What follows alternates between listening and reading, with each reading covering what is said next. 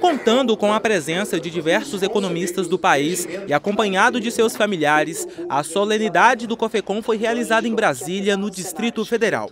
O evento empossou o novo presidente, vice-presidente e conselheiros eleitos para o triênio de 2023 a 2025. O papel do Conselho Federal é estabelecer é, legislações, normas e procedimentos para que tenha funcionalidade em todo esse sistema. Eu estou assumindo a presidência hoje é, para esse mandato de um ano, é, com a expectativa de desenvolver os trabalhos que vêm sendo realizados nos últimos anos Graduado em Ciências Econômicas pela PUC Goiás e mestre em Desenvolvimento Econômico, além de ter diversas experiências, Eduardo Rodrigues representará o estado de Goiás no COFECOM durante o ano de 2023. Então, primeiro eu quero dizer que é uma alegria muito grande, uma honra né, poder representar o, o estado de Goiás, a PUC Goiás, o Conselho Regional do Estado de Goiás, dentro do Conselho Federal de Economia.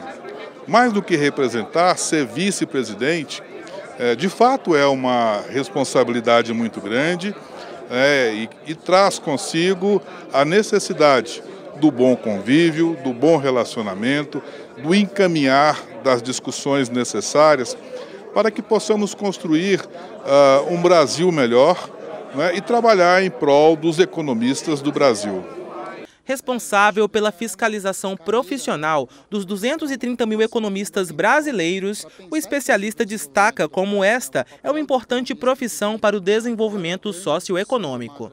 Papel do economista, inclusive, maior é a grande discussão da macroeconomia, os rumos que o país vai, vai, vai escolher, é, as discussões do nosso desenvolvimento.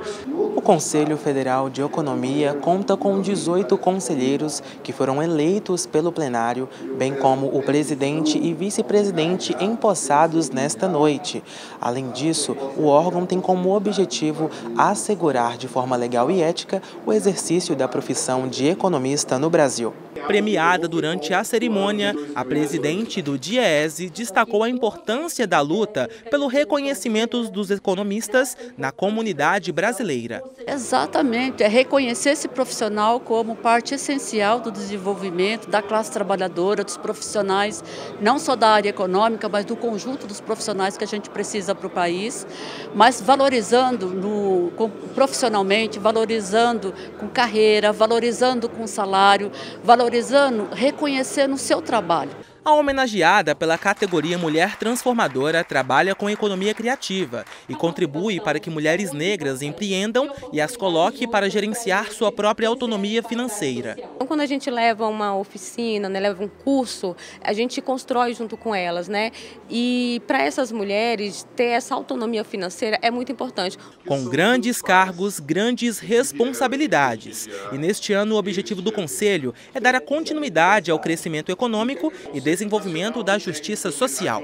Poder ser bastante útil no desenvolvimento das nossas atividades dentro da, das nossas plenárias e contribuir muito para o nosso país que se encontra agora atravessando crises profundas, crises econômicas, sociais e políticas.